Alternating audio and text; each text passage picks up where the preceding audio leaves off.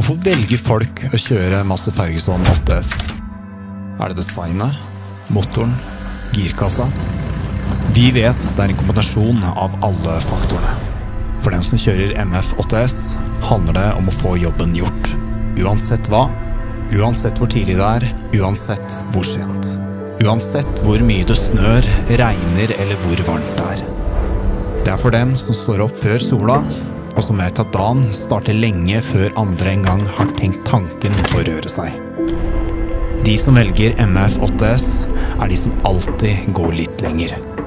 De som ser verdien i hver time og hver dråpe diesel, som vet at hvert minutt teller, fordi tid er penger. De som velger MF 8S, vet hva som trengs for å lykkes. De vet at det kreves dedikasjon, og de er ikke redde for å gå mot strømmen. For dem er det mer enn bare en traktor. Det er en partner i det arbeidet de gjør. En del av den innsatsen de legger ned, dag etter dag.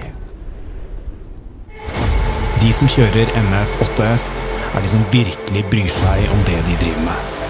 De som ser på arbeidet sitt som mer enn bare en jobb. De som vet at resultatene kommer fordi de legger ned innsatsen der den teller. Folk velger MF8S skape noe stort. Noe varig.